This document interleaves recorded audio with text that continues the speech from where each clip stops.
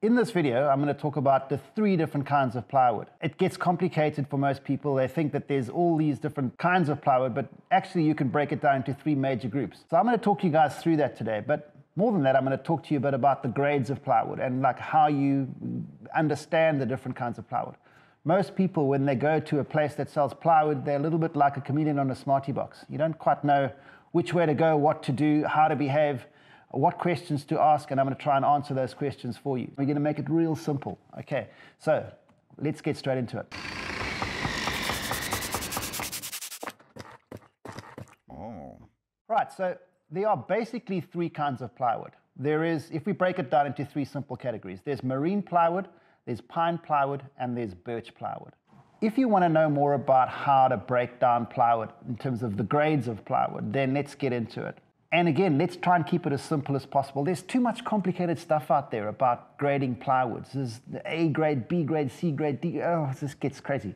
Let's just make it real simple. There are letters that describe the quality of plywood. Mostly it starts with B. B for best. That's the easiest way to remember it. So B for best, B grade plywood is very, very good. Then you get BB, which is almost as good, but not quite. Then you get C and BC and CC and so on. What it basically means is that if you have something that is B grade on one side and BB grade on the other side, then it means that one face is better than the other. So we call that sexy face, we call it the show face. That's, the show, that's like the one that people see. If your show face is B and the back is BB, that's cool.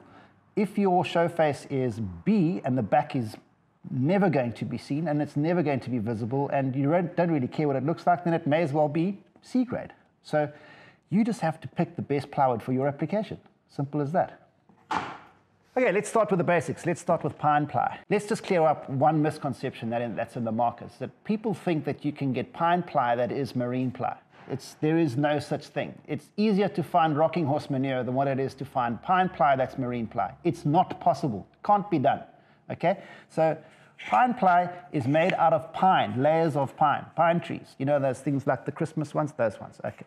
So what we got here is we've got pine ply, and this particular piece is what we call BB grade. So B on one side, B on the other side. B for best, B for best. Okay, so this is pretty good stuff. It means you can use it for something where you're going to see both sides. So if you're going to make something where you can see both sides of it, hey, this is the stuff for you. Bonus about this stuff is that it isn't hell of an expensive. It's actually quite good value. So it's got mass, it's got layers, it's made out of pine, it's good both sides. What more could you want? If you don't care as much about what the other side looks like, then you're looking at something like this, which is B one side, C on the other side. It's good on one side and it's, it's okay on the other side. Nothing wrong with it. It just might have a blemish or it might have a knot or some other thing. And sometimes that's cool because you don't need to show both sides of something. If it's the back of a cabinet and the cabinet is facing the wall, then what do you care what the back looks like? I mean, why spend the extra money? Spend money on tools or fun stuff like, I don't know, tools. When you go into a place that sells plywood and you talk to people about plywood and they start talking to you in a language that you don't understand, like you can see that they're talking to you because their lips are moving and they're looking at you, but you've got no idea what they're saying because they're talking to you in a language you've just never heard. And they're talking about things like WBP and all of that other stuff about waterproof glues and layers and veneers and all that stuff. Just stop in your tracks. Just relax. It's okay. Let me just make it real simple for you guys. The idea with plywood is that, in essence, there's three simple rules that I follow. Okay? You get what you pay for. You spend more, you get better stuff.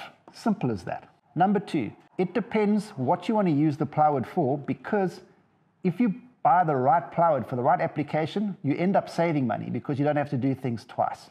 And number three, all you got to find out in the most basic way possible is is this stuff put together with waterproof glue?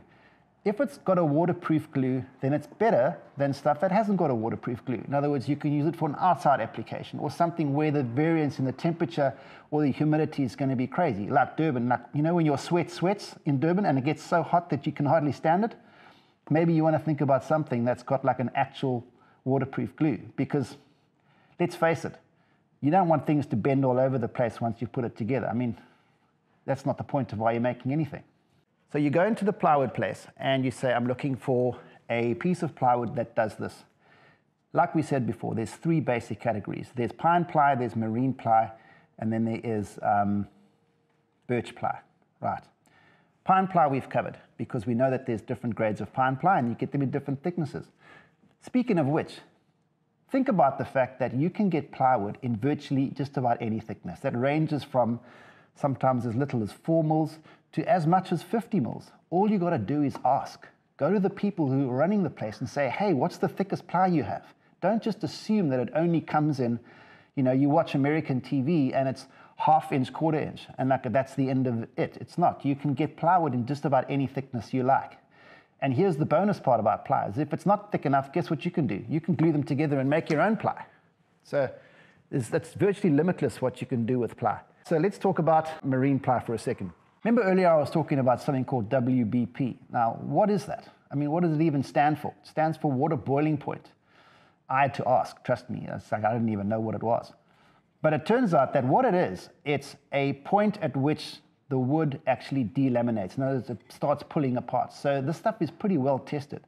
Now these mega factories that put this stuff together, these guys, they've put billions of rands into research, dollars, billions of dollars into R&D, research, and what have you. And these guys spend a lot of time trying to work out the best way to make plywoods that suit their customers. The technology behind this stuff is pretty amazing. I mean, you must see how the stuff gets made. It's crazy. But the, the idea here is that the, the, the plywood is rated, and sometimes you see on the side of it that it's written WBP, which basically means that it's marine grade glue, it's waterproof glue, it's better for outside uses. So just keep an eye out for that sort of thing and think about what you want to use plywood for. Again, there's no point in overspending on something that you don't need to spend money on, but also if you're going to do something, rather buy the right product and then you're, going to have, you're not going to have a disappointing outcome. Right, so let's talk about marine grades just for a second. So this is marine grade plywood. Um, again, it's got waterproof glue in between the layers.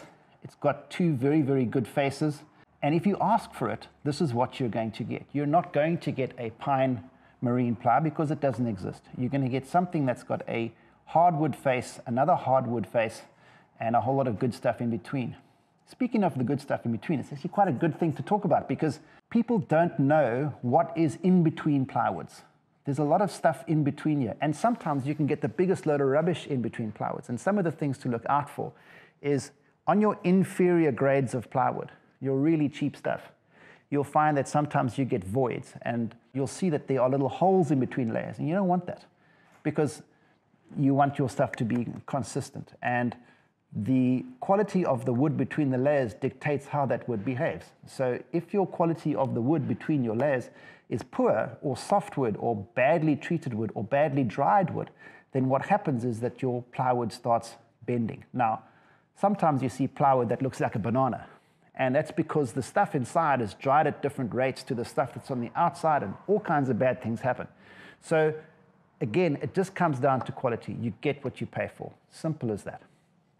Okay, so that's marine grade ply. All right, so now the, the big question is what do you use this stuff for? I mean, it's got waterproof qualities, so where would you use it?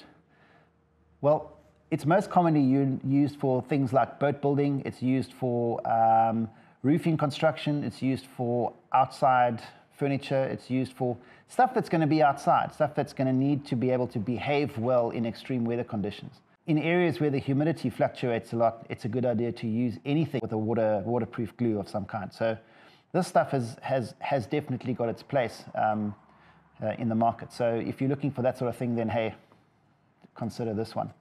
Right, now we're going to move on to birch ply. Birch plywood is it's a bit of a rock star in terms of the worlds of plywood, or in the world of plywood, because it's got a, it's got a reputation for quality. But you've got to be a little bit careful because birch plywood um, has become a category name rather than an actual name. So you get birch that is made out of actual birch, and then you get birch that's got a whole lot of other stuff and it's sort of masquerading as birch. So you've got to be a bit careful. You get birch made in China, which is not the same quality as birch made in the Baltic Islands, or Baltic birch, or Russian birch, or you know, some of the other birches out there. So you've got to be a little bit careful. Um, you've got to compare apples with apples and make sure that you're actually getting what you pay for. Ask if you can, and the people that are selling you the stuff should know the answer. They should be able to tell you exactly what the origin of their birch ply is because it's important for you to know that you're paying for quality. This stuff is not cheap. You may as well get the good stuff. Okay, so let's talk about the qualities of birch ply itself. Obviously, by virtue of the fact that it's called birch ply, one can assume that it has a certain quality. But within birch ply, there are grades just like every other plywood. So SBB is a grade that is the top of the pops. It's the best one you can buy. So SBB is furniture grade ply it's great on both sides. It sands well. It's incredibly stable. And that's quite a big deal that it's stable, especially for furniture. It's kind of a big deal that it is stable. So it's stable. It sands well. It absorbs finish well. You can do cool stuff with it. You can shape it. You can router it. You can do amazing things with it. So in that essence, it's as good in many instances as a solid wood, but it has the advantage of being stable. Now, solid wood as you may or may not know, moves back and forth. It bends all over the place, especially naughty woods like oak. Oak is like a teenager. You can't, doesn't do what you want it to do. It'll do what it wants to do and not what you tell it. So it's beautiful, but it's not very, very stable. Whereas this stuff is, um, it's, it's more like a mature adult, if we put it in those terms. So this stuff here is good, it's stable, it's easy to work with, and its strength to weight ratio is off the charts. So it's super strong. The next grade down is two faces BB. So in other words, it's not SBB, it's BB one side and BB the other side. It is just one grade down. So it's still just about the best stuff you can find. So, you know, when you're dealing with stuff of this quality, it makes everything you do a lot easier. It cuts better, it machines well, it takes finish, you can sand it and, and, and. So there's lots of good reasons to buy decent birch, but whenever you are buying birch, ask the critical question, ask the important question where does it come from? Has this stuff got waterproof glue in it? What is the glue about? I mean, ask all of those sorts of questions and establish that what you're paying for is exactly what you think you're paying for.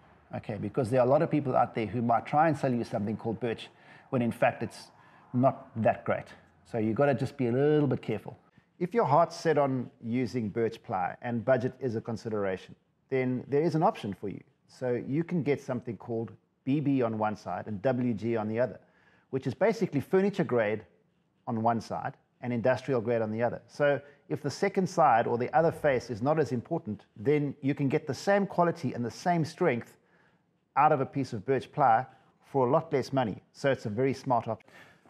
Here is a plywood called Okoume ply. Now, Okoume is another hardwood. It's got a very um, interesting color layer. It's got a sort of a te- uh, not a texture. It's got a it's got a very smooth color layer. Now, why would you want plywood with a hardwood outlayer? It's because let's say you wanted to match. You're doing panels and you want to match a different wood. Let's say you're matching Meranti as a hardwood or any kind of hardwood that looks like this. It obviously makes a lot more sense to use a plywood as a panel because it's much more stable. And secondly, it's cool because you don't have to spend time color matching stuff and staining things. And if you're using woods that are similar to this, um, like let's say Meranti or Saligna or one of those sorts of species, then it makes life a lot easier for you as a, as a maker to not have to deal with color variances. So this stuff is actually also very, very cool. Um, it's nice and light. It's very, very solid. And I think in terms of using it for, for furniture grade products, it's a, it's a pretty cool product.